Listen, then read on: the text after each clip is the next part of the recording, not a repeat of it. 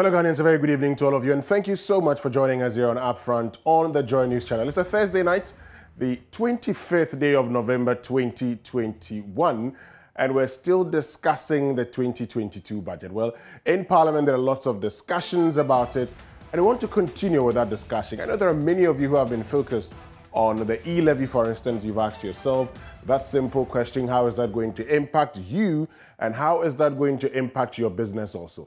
I know there are lots of you, particularly the young ones, who are concerned about jobs. Well, in the budget, we've been talking about a YouStart because, well, the government says they want to ensure that you get to start your own business. That's if you're a young man and you get to become your own boss, not just your own boss, but also contributing to uh, the growth of this country and employing other persons. In the words of the government, they are looking at employing or creating 1 million jobs by end of 2023, 2024. We're looking at a three-year period. But this evening, my focus or our focus is on a very important part of our budget because we're looking at revenue and grants totaling 100 billion Ghana cedis. Tax revenue, 80 billion Ghana cedis. But of course, if you look at some other provisions in there or some other expenditures, you may be concerned because we're looking at wages and salaries of 35 billion Ghana cedis. We're looking at interest payments. Now, mind you, these are just interest payments of 37 billion Ghana cedis. If we're to compare that to the 2021 figure, we I mean estimated to spend some 30 billion Ghana cedis on wages and salaries, with 35 billion Ghana cedis on the payment of interest. But the critical question is, how do we ensure that we are able to generate enough revenue how do we ensure that we are able to raise much revenue? Because the president has been speaking, he's been tasking the National Development Planning Commission to find ways of ensuring that we're able to raise lots of revenue as a country. In the words of the president, that we eh, I mean, that our tax to GDP is 14%. is not the best compared to, say, Togo, 18%, and according to, I mean, Togo 22%, and according to ECOWAS, ECOWAS countries should have a tax to GDP of not less than 20%. We're doing 14 according to the president, but if you were to look at the fact that we're, I mean, in 2020, we're looking at tax revenue of 55 billion, and you compare that to our projected GDP of 431 billion, you're looking at less than 13%, in fact, 12.7%. So that is certainly not a good one. This evening, I want us to look at how we can generate revenue. The budget has been talking about some of these things, how they believe we can do that. We also want to find out whether there are other means of doing so, but also of importance, how do we reduce infrastructure? Uh, how do we reduce expenditures? My name is Winston Amoah, and this is Upfront on the Joy News Channel. When we return after these messages, I'll be introducing my guest, and then we get into the conversation.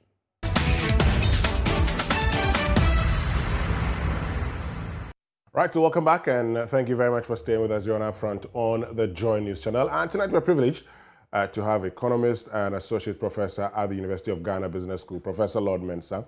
Uh, good evening, Professor Mensah, and uh, thank you very much for joining us. Yeah, good evening and uh, good evening to our viewers, Winston. Great. So let's start off with, uh, you know, one thing. Uh, even before we get into the details, I'm sure you've been monitoring or following up the discussions of the budget in Parliament so far. Uh, what's been your assessment of these discussions? Yeah, um, I think um, I've not been following it uh, as expected. Um, normally, at the time of debate, I'll be in the office uh, and I don't have those uh, media structures uh, around. But what I know uh, very well, which is going to take you know, a center stage of the discussions, is about the e-levy. And obviously, um, my understanding is that uh, a government, after looking at the economic structure of the country, has identified that space to be an active space uh, when it comes to economic activities, and therefore try to migrate, you know, some revenue collection in that regard. When you look at, you know, revenue collection, normally you put it at where the economy is active, and so uh, that is what uh, I know is going to take a center stage of the discussions. coupled with um, the road tolls that has been removed. Um, you clearly you, you understand that um, if the road toll is giving us um, about 78 million Ghana cedis a month, at least for the next one month, we are going to lose that money. And as a country that is struggling for revenue generation, we cannot afford to allow that to go. Um, I'm hoping that the government will get a replacement for these funds that we are losing. And uh, I, I, believe it was kind of uh, a knee-jerk decision mm. um, to, to, to take off, you know, the road tolls completely as expected because the revenue that we try to, I mean, rake in to neutralize this uh, road tolls had not kicked in yet. And if you look at the budget processes, um, after the uh, budget readings at Parliament, there should be a debate on it before it goes to appro- uh, approval, then implementation.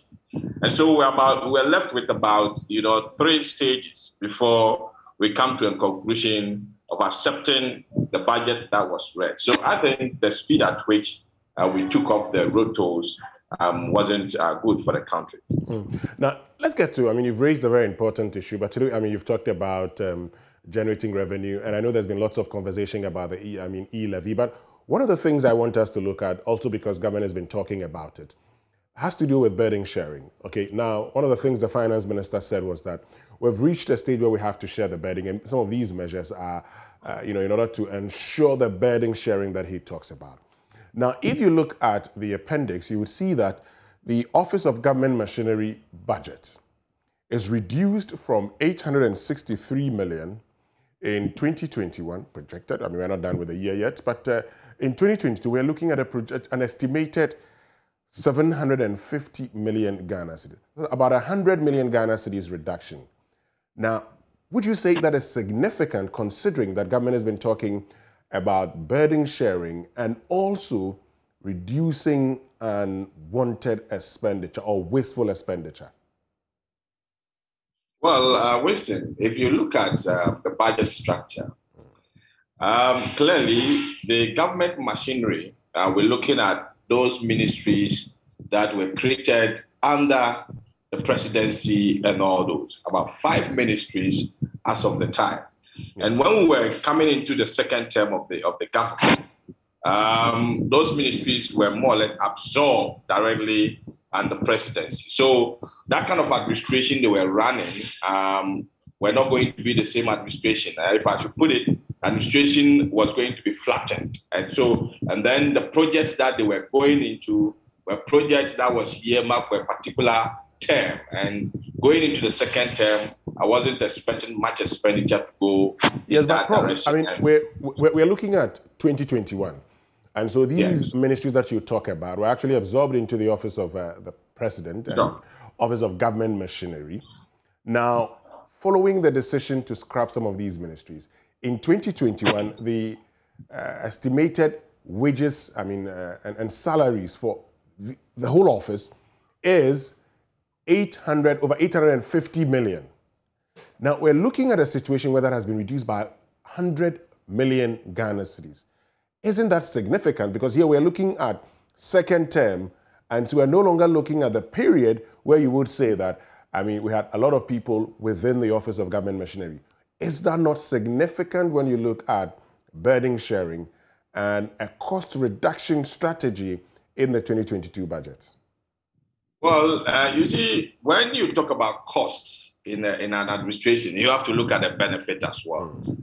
We cannot just look at the cost by reducing it by 100 you know million margin and say that it is significant and it, it, it portrays you know that kind of burden sharing that we're looking at and like i said earlier the kind of administration that was being run when the ministry was being standalone um, will be different from when it is being absorbed directly into you know the presidency. Now we don't have substantive ministers for these ministries. We don't have you know other expenditures that will go to this um, uh, ministry. So obviously it has a tendency of reducing you know the kind of uh, monies that will be allocated for um, this ministry. So I'm not surprised to see that margin of reduction. But um, as to the being significant or not, let's consider the benefits that those ministries you know, created when they were fully active you know, relative to now that they are being absorbed into the presidency. Now, being absorbed into the presidency, what is going to be their function? As we speak now, those functions are not clearly out.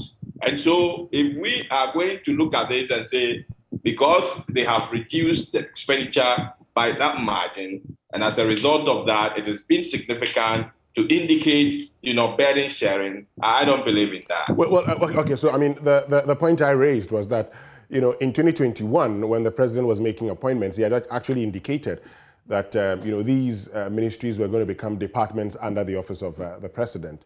And sure. so, I mean, right from this year, that had been the case. And if we look at 2022, the fact that I mean, there's still department under the presidency, but of course the wages and salaries have reduced. You're looking at the Ministry of uh, Planning uh, now, I mean, a unit under the presidency.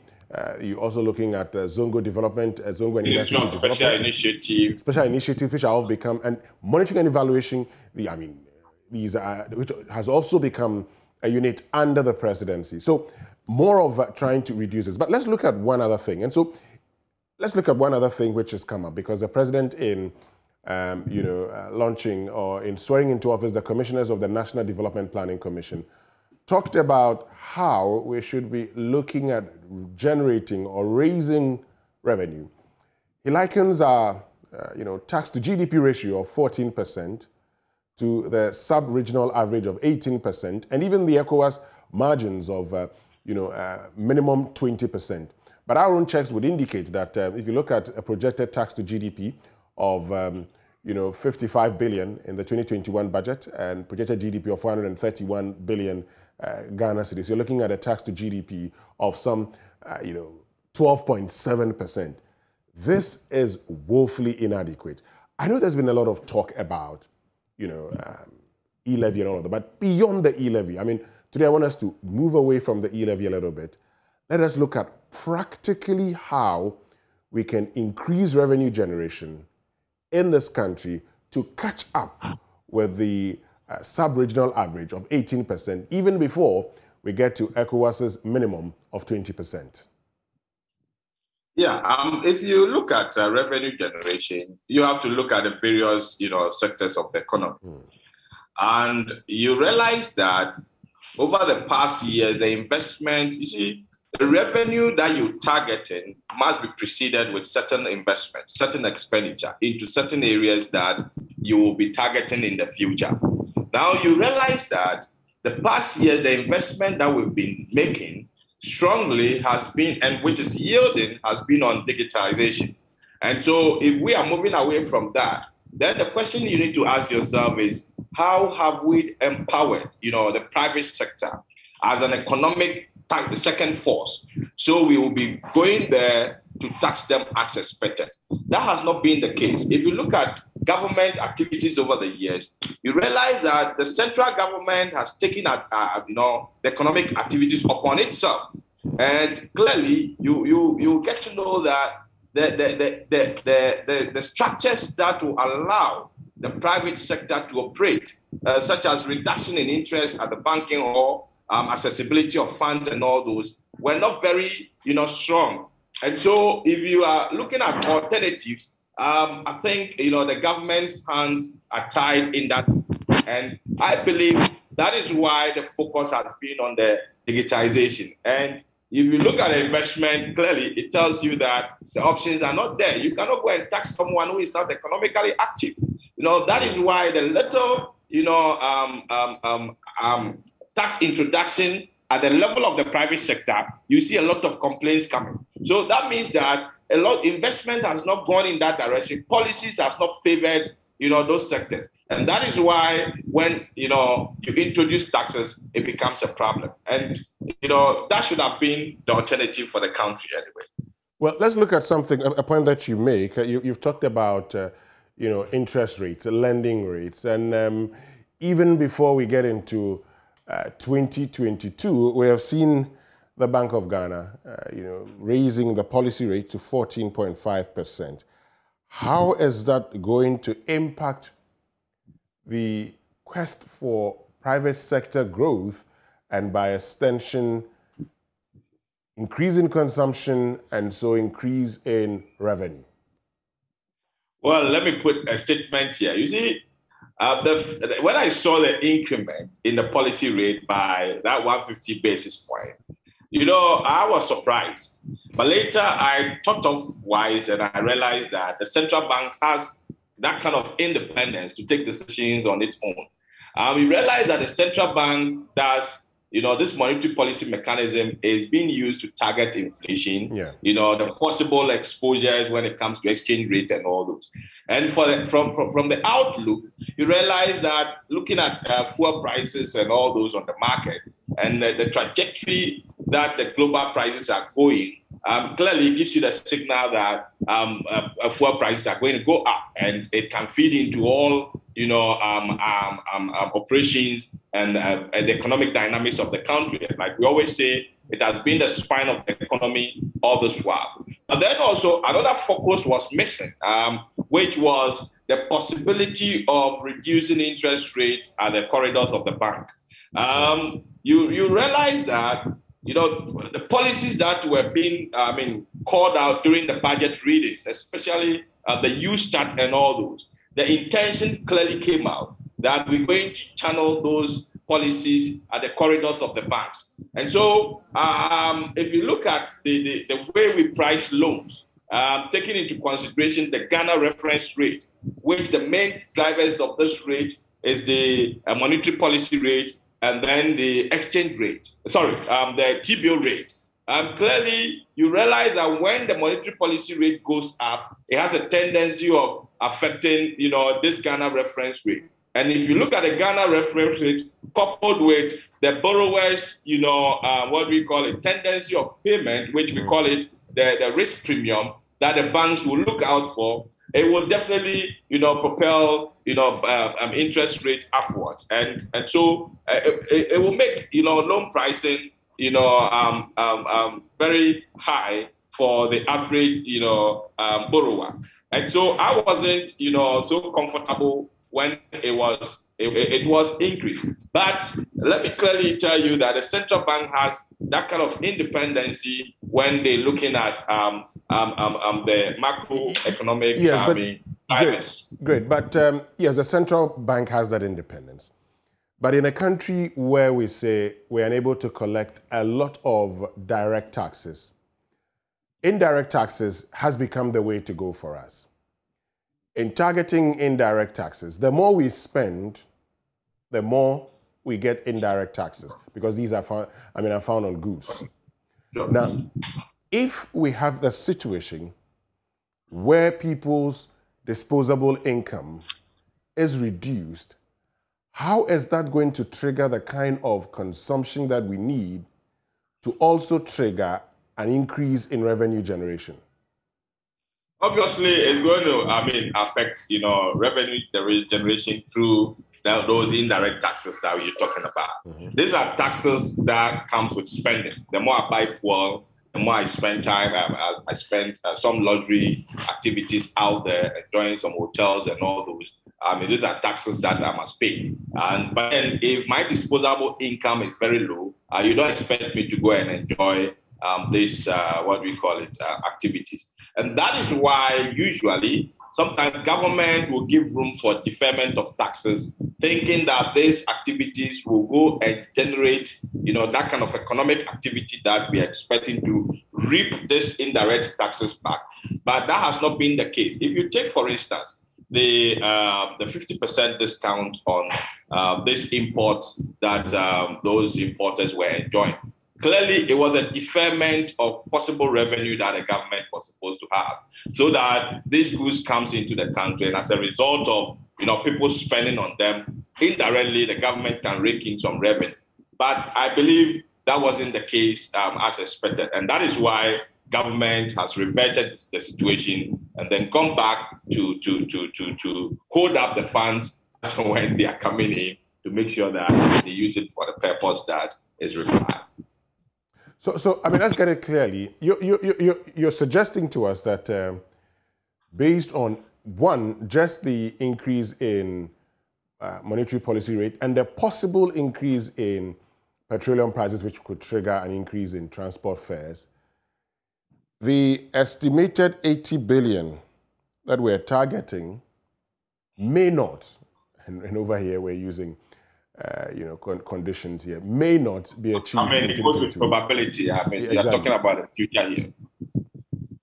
Yes, I'm asking you, said based on how we have started in the last quarter of the year, these projections may not be achieved. Is that what you're saying? Looking at into the 2020, 2022 uh, budget, the target for revenue and all those? Mm-hmm. Exactly. Yeah, obviously we may not achieve that because um, you know, like uh, I was saying earlier, the disposable income of individuals are going to reduce over the years. I mean, over the months ahead. And if the government wants to rake in from, you know, these um, activities, then obviously it's not going to be as expected. And then also, if you look at um, what is happening at, at, at, at, the spaces that the government is targeting for its uh, revenue generation, obviously economic activities will start reducing in those areas. And like last time we were discussing, um, if you look at this E levy, it's part of the 100 billion, no, sorry, the proportions of taxes that the government was raking.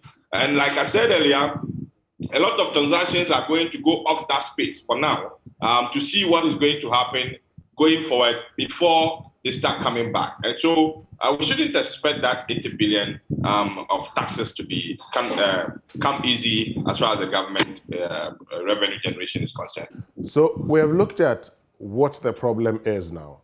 What, what I want us to do is to look at what we could have done differently or what we should be doing differently when it comes to increasing revenue. So let's start with, so we know the policy rates, I mean, that has gone up now. But we also do know that the prices of petroleum product is one major factor when it comes to inflation, and that in itself also affects the policy rate. As a government that wants to increase revenue generation, what should the government have done? And over here, we're not going to talk about, uh, you know, increasing, tax, widening tax net because it's obvious we have not been able to achieve that uh, ever since um, I started following budgets in 1995. We've talked about that. We're still talking about it. But what should the government have done to ensure that these challenges that we're talking about are minimized so we could talk about increasing revenue generation, particularly through indirect taxes in 2022? Well, uh, Winston, you see, we always, we, as we speak now, we've been targeting revenue, mm-hmm. okay? But you realize that the revenue generation goes hand in hand with expenditure. Sure. If you look at, relate the, the, the, the revenue target for last year's budget and the, the increase that we have done, you realize that it's about over 14 billion. The same increment we have, you know, built it up into our expenditure. So the question is, if you are not able to generate that revenue, are you supposed to, you know, hold it up there that you're going to still hold on with your expenditure. Why don't you focus on expenditure cutting? And the question will be that which areas are we supposed to cut when it comes to expenditure? Mm-hmm. I always split our expenditure into two. We have the discretionary one, which we have control over as a country, and then we have non-discretionary ones, which of course we are talking about interest payment and then our, you know, salary compensation and all those. Now, effectively, the ones that we have control over is the you know the capital expenditure, the grants allocation to other you know institutions, government institutions, and all those. If you have control over this one, why don't you spend that in a revenue enhanced you know um, areas so that for every penny that you spend you can generate the corresponding revenue that is expected of this expenditure. So effectively, we can go up. Now, today I got a report that IEA is calling for a cap on our, you know, debt um, accumulations. Mm. Effectively, for me, I see it to be a good call because it takes us back to where we were as far as IMF is concerned. When IMF came, they, they, they, they, they indicated that our budget deficit should be around 5% of our GDP. In a way, because if you create a deficit, that is when you finance this deficit. Hmm. Now, if you don't create a deficit, you will definitely find you will not finance anything. So effectively, if we should go back and then cap some of these indicators, It should be able to help us. Now let's look at capital expenditure. Apart from the political undertone, that will give the politician a platform to say that I'm going to give you roads, I'm going to give you that. I mean, if you take it economically, I would say that eh, it's about time we privatize roads. It's about time we allow the private man to come in. How, how, how, how are you going to how are you going to privatize roads when you have decided to abolish road tolls? Well, the private man knows how to go about it. We how? leave it for how, them. How, how is the private man going to go about it? How is he going to get his well, money? When the road tolls were abolished, right, mm-hmm. we have cars on the road. Every year we go and do our road worthy. Mm-hmm. Now, if you calculate the number of times I travel across a particular road toll, right, you realize that maybe I might not travel maybe 50 times and all. It all boils down to feasibility studies. Mm-hmm. And this can be slapped onto, you know, um, the road tolls and be taken upfront. Okay. And once it's taken, the whole year you have the liberty to drive, you know, through the roads, uh, sorry, the tolls uh, as, as we have it now. So there are so many ways of, you know, I mean, taking this road tolls. It's not everywhere that you go that you're going to see physical, you know, um, um, structures that has been mounted for road tolls. It can be slapped on so many things. How does the government collect it? I mean, levy when it comes to fuel consumption and all those. It's been slapped on the on the prices as you buy at the pump you know, level. So effectively, there, there are so many ways to go about it. And it's about time we offload this expenditure off our, you know, let me call it our budget, so that the budget will be trimmed to be manageable. Because if we turn up to be holding everything at the at the central government, well, well, well but uh, I mean the issue, I mean the, the issue you're looking at, I mean total infrastructure investment in roads around 1.3 billion Ghana cedis. So I mean of the 16 billion Ghana cedis that we want to spend as uh, capital expenditure, you're looking at just, um, you know, less than 10% of it going into the road sector. How much is that? I mean, that's not that's insignificant. One point less than two billion. you see, Winston, uh, Winston, this wasn't the case earlier uh, in, in, some years back. Mm. If you take, I mean, funds that were going into roads since 2017, uh, look at the, you know, the total expenditure that is going into, you know, capital expenditure related to the total expenditure. You realize that over the years it has been reducing. It has reduced from 17% of the total expenditure all the way down to about 10%. That means that we are killing the future. If we don't have the money to build our infrastructures, why don't you source externally so that the private man will come directly instead of the government going to the market to grow, say that we're going to borrow, right, to come and what? Invest in infrastructure. Why wouldn't you allow the private man to come directly, come and assess the situation and see if they can build, operate it for some time, maybe 15 years, 20 years, and revert back to the government? So effectively, it's, a, it's because we have what? We have taken all this, you know, upon ourselves as a kind of um, government expenditure, uh, expenditure that is why we see our expenditure being blown out of proportion every now and then, calling for unnecessary borrowing. And as a result of that, um, we keep on derailing about our budget lines every now and then. So for me, it's about time we seek external funding, but not through you know borrowing, but rather allowing the private man to come in, come and assess you know certain areas that they can invest in and possibly invest direct. Of course, when they we, they invest and they, they reap their in, investment with a possible with a possible interest, obviously we, we can have the infrastructure back. Mm. Now, now, now the, the, the grants you talk, I mean, even before we get to the grants, I mean, you're asking them to come and invest. Well, uh, there's a challenge in there. But when you look at the grants that you talked about, some of these are statutory grants. Now, there's been a capping of even uh, state institutions. And so some of the government uh, institutions, if they generate IGF, that's internally generated funds, there's a cap, so it gets uh, you know to the uh, government again, the consolidated fund. The law is very clear on total revenues generated, and it's expected that not less than 5% should go into, for instance, um, National Assembly's Common Fund. So there are laws there. Okay, there are laws there that says this is how much you should. So these are statutory payments. Nothing can be done about it, uh, Professor Lord Mensah. Yeah, Winston, you see, the laws were made by us. Mm-hmm. Okay. That is why we have parliament. you look at the structures carefully. Some time ago, if we're dealing with 5% that must go into, you know, um, what do we call it? Uh, the, um, um, the controller and accountant general. At this time, we're not looking at that because the situation has changed. Now it's about time we allow various institutions to be, in a way, self dependent. Some municipalities, as we speak now, can be self dependent. They can pay, if you look at the resources they have, they can pay their own staff, go into project, borrow against certain cash flows in the future, rather than allowing the central bank to borrow on the nation's behalf.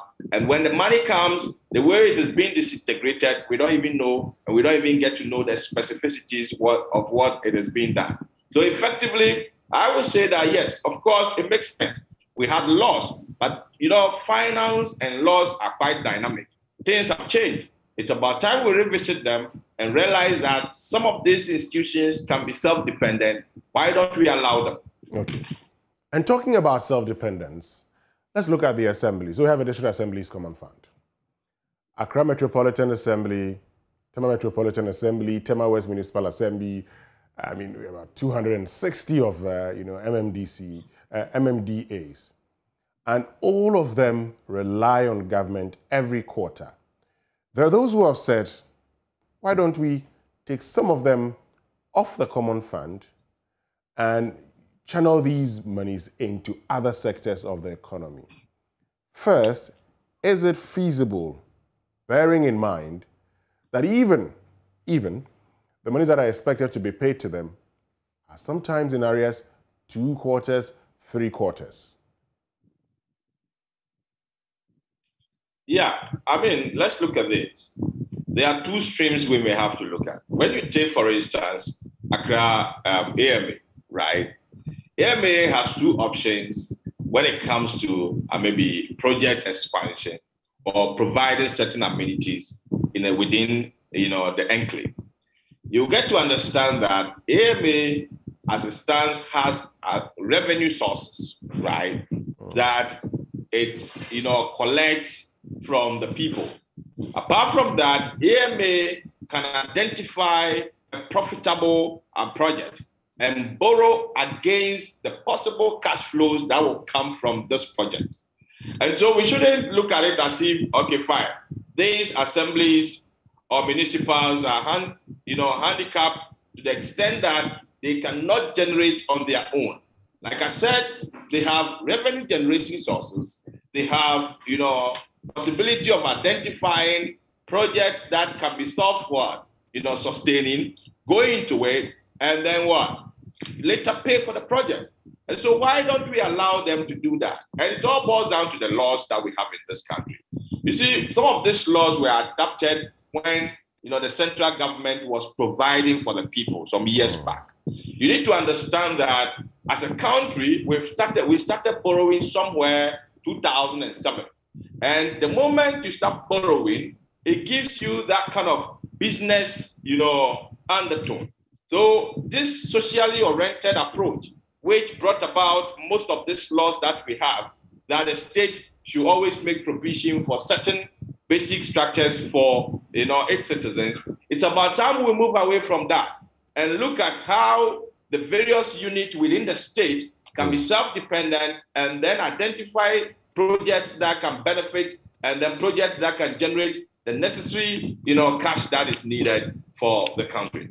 And, and, and, talking about borrowing, we have been borrowing, uh, you know, since independence. But um, let's look at the plan in the budget: property taxes, property rates. The government wants to help the assemblies collect them because we're talking about, you know, these assemblies over dependence on government. And the government is saying we want to help you collect these, and so into a pool, and then we'll be able to use them for development. Good idea.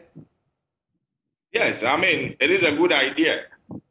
You know, government has invested in that direction. We've identified properties, and we were here. We invested in digital address system over two million, you know, um, Ghana cedis.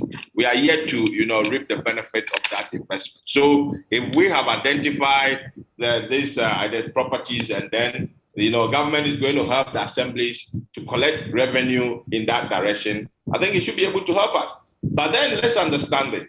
You see, it's not that people don't want to pay property tax or um, eh, it would be tough getting revenue from that, you know, property taxes. But sometimes locations of some of these properties, the government itself might not necessarily get that kind of confidence to go to these people and ask for, you know, property, you know, toll. Because, you know, look at where I live, for instance. I go off road for about 15 to 20 minutes. Mm. And going off road means that at the end of the month, when I pay my payee, right, and pay those indirect taxes that we were talking about, I must buy shocks every six months.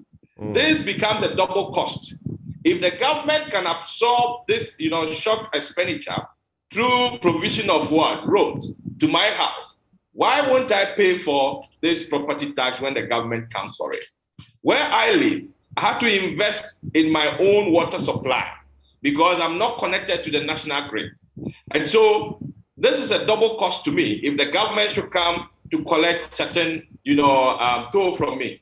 So effectively, it's not that we may not want to pay, you know, um, um, um, property tax, but then the locations of some of these properties, accessibility becomes a problem. Mm. So even the agents that will be sent to go and collect this revenue might not even go.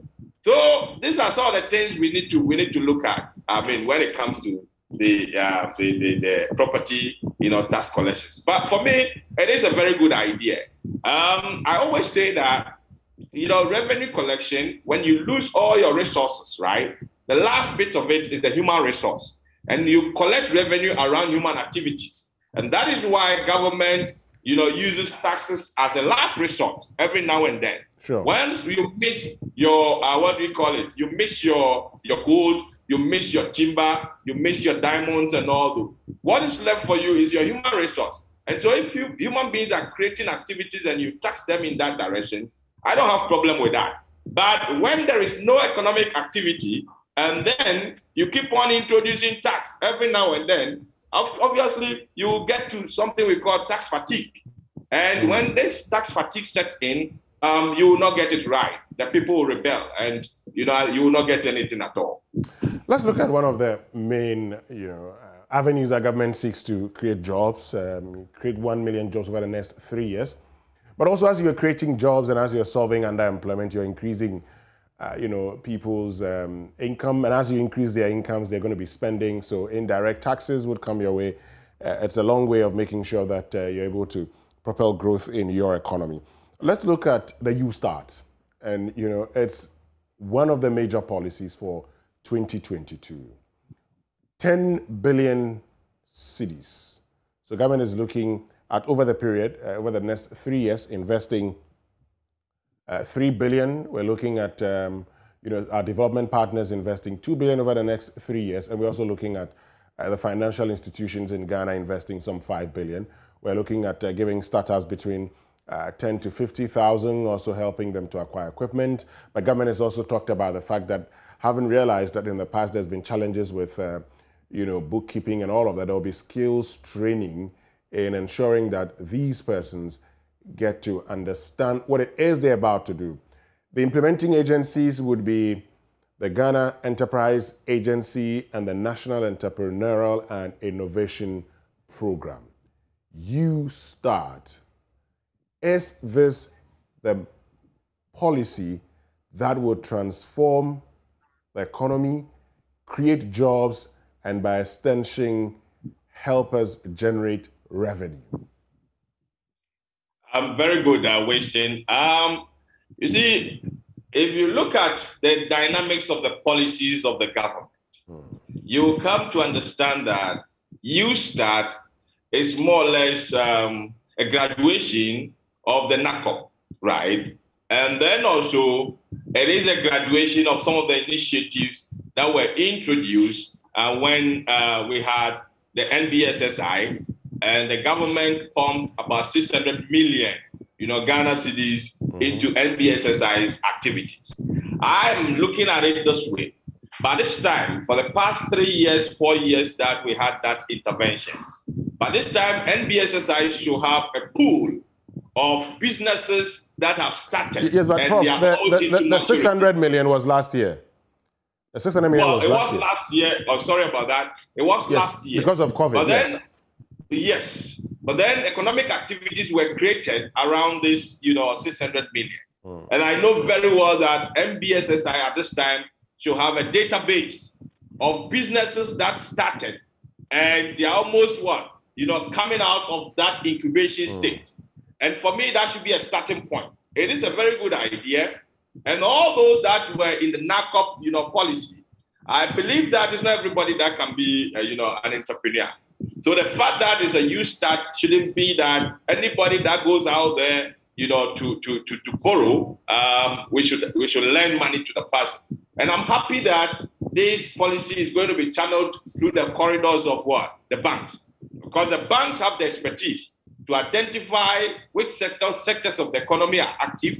And so if you develop your business plan and you show economic prospect as far as your business is concerned, of course, the bank will be ready to finance you. And like you mm. said, it comes with capacity building. And it's not like we are going to start from, you know, I mean, the moon, or we're going to start afresh. There, there, there are some baselines that we may have to look at, especially when you go into the pool of the NBSSI. They should be able to tell us that these were businesses that benefited from the 600 million, and there are businesses that are ongoing. And as a result of that, if we should help them to, you know, access funding, they will, they can expand, and by expansion, they can absorb some of these NABCO, uh, NABCO uh, you know, uh, should I call them graduate or uh, employ, employees? But one other point that has come up also is the fact that, yes, I, we know that as part of the uh, coronavirus alleviation and uh, revitalization enterprise support scheme, that's the Ghana Cares program, um, you know, existing and, uh, industries will be supported as a way of ensuring that they're able to, you know, grow and create more jobs. But there are some who have made the point that, well, 10 billion over the period, the next three years, going into startups and all, and creating new, ent- I mean, creating entrepreneurs. Uh, shouldn't we be thinking of investing this? Uh, I mean, adding this to the allocation already dedicated to existing industries, since these existing industries create between 60 to 80 percent of new jobs, and also bearing in mind that um, you know uh, startup the percentage of startups that are expected to fail in Ghana is 74 percent. See, uh, when it comes to, if you understand what we call venture capital financing very well, you will come to understand that for startups, we don't do a wholesale, you know, financing. Okay, they are strategic because you give a statistics that it's not every business that starts that can what generate. In Ghana, 74 percent. Right, collapse. fantastic. Right now, you get to understand that it is quite risky to invest funds wholesale in those areas. So you have to be careful and be selective the kind of investment or the kind of startup that you will be targeting. And like I said earlier, you mentioned that there, there are already existing businesses that can absorb, you know, some of this labor force that we're looking at, you know, into the employment sector. Um, the other hand, we may also look at startups that have prospects. Okay. And I presume that at this time, with some of the initiatives that we've placed, if you look at administration upon administration, let's not throw some documents away. You realize that NBSSI was existing and now it's what? National Entrepreneur what? No, Um, the NBSSI is now Ghana Enterprise Agency. Uh, Ghana Enterprise Agency. Exactly. If you look at the dynamics, you will understand that if you go to them, they should be able to give you data of businesses that have been that's that were, were started and now they're about to germinate, and therefore that that should be a target. Okay, so that if they have this information, the banks have this information, and these businesses goes to the bank, they truly knows you know exactly where to put the money. We should understand that we cannot do wholesale financing when it comes to startups because it's a risky, risky area. And because it is a risky area, you have to be careful and very sensitive in terms of, you know, your selections of the kind of, you know, businesses you may have to finance as a startup. So that it won't be like um, something that we are sharing and people go and queue. And then at the end of the day, the government cannot even account for the funds that have been invested in that area. If we are pumping 10 billion, I'm expecting that in the next maybe 10 years, we can boast of about, let's say, um, 15 billion out of this investment. Mm. Well, well, well, the government makes the point that uh, the plan is to create 1 million jobs. And again, that creates the, some have argued that this actually creates another avenue for focusing on quantity and not sustainable jobs. And so we, go, we start with an attempt to create more jobs so we can come back and say we have created 1 million jobs and not ensuring that we have businesses that can, I mean, that are sustainable. And so beyond the three years, the five years, 10 years, we would come back and say, this is what we did uh, during the Ghana Cares program. You see, Winston, if the government does this investment, mm. which is about 10 billion, and in the end, in the next uh, um, 10 to 15 years, we are not able to tax those who will be employed consistently in this initiative, is a loss to the country. So that is the only way the government can say that we did this investment, and in the end, we are reaping this benefit, apart from the export and the possible transactions, indirect and direct, that can go on, that we will benefit from as a country we should be able to create sustainable jobs out of this. And like we said earlier, you know, we should be sensitive in the kind of, you know, startups that will be targeted. It shouldn't be startups that will be geared towards um, maybe uh, doing that, you know, wholesale kind of um, um, um, provision for funds, you know, for individuals and for businesses. And in the end, we may not get anything out. So for me, it is a good call but then we should be careful how we go about it. And that, that's why I mentioned that, you know, I'm happy that banks are being involved, you know, in this initiative because already the banks are very careful when they are doing, you know, resource allocations. And in the form, I don't know how much, you know, the government will be doing in terms of lending to these banks and how much they're going to do on lending to, you know, um, those individuals who have the startup. And I presume that comparing this to the normal interest rate that we have on the market, there's going to be a huge discount for this business. Well, well, government, government talks about soft loans. And so once we're talking about yeah, soft course, loans. If, it, if it's a soft loan, of course, it's, it's not going to be as the market rate. I exactly. Mean, there's going to be a huge discount. And so, yes, I mean, that's uh, not expected to be at the market rate. But when you read the document, I mean, um, when you read the document and when you look at where we have come from as a people, because this would not be the first time we have tried this, um, we actually had the, you know, um, local enterprise skills development program, uh, LESDEP, where the youth enterprise skills development program, yes. yes. Uh, we've also had um, uh, the Ghana uh, Youth, uh, you know, Enterprise and Entrepreneurial Development Agency, GYEEDA. We've had Yes Youth Enterprise Support Scheme, which became National Entrepreneurial and Innovation Program. And we, so when you look at all of these programs that we've had over the period, and if you look at the policy that is being uh, put out there, would you say there's been lessons learned? Yeah, I mean, uh, Winston, you see, clearly there seem to be lessons learned here. You know, uh, in the past, all the initiatives that we've been talking about were being handled by state agencies and ministries and all those. But now, you, you clearly, in the budget, eh, it, it was indicated that we're going to use the banks and to the extent of establishing National Development Bank.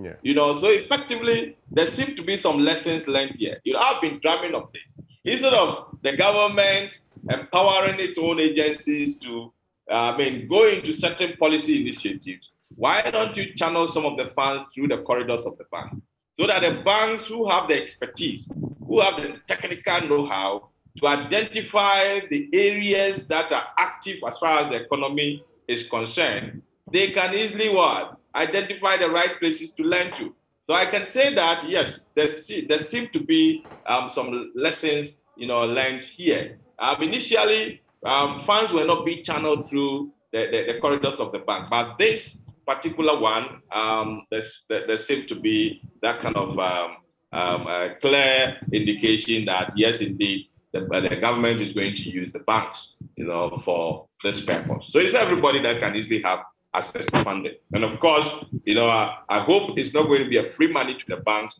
so that they also lend freely. And once you you lend, you know, or you give out money free, people don't attach seriousness to it. They don't attach, they don't place value on it. And so multiplying it becomes a problem. And so if you know the the, the, the, the, government is going to use the banks, then I would say that um, lessons have been learned here. Hmm. Well, government has indicated will be using the banks, and so that would mean that uh, lessons have been learned. Um, Professor Lord Mensah, thank you very, very much uh, for joining us this evening on Upfront on the News channel. We're very grateful to you uh, that you made time to join us. And of course, we're grateful to you also for making time uh, to watch us here on our Upfront on the Joy News channel. My name is Winston and we'll Catch you tomorrow morning on the Super Morning Show. Have a lovely evening.